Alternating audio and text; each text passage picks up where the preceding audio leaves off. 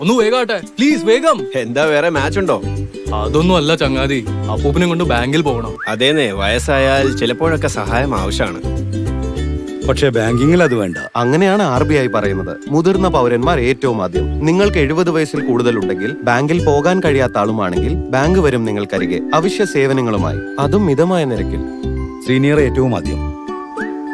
R B I പറയുന്നു അറിവ് നേടൂ അത് പ്രാവർത്തികമാക്കൂ.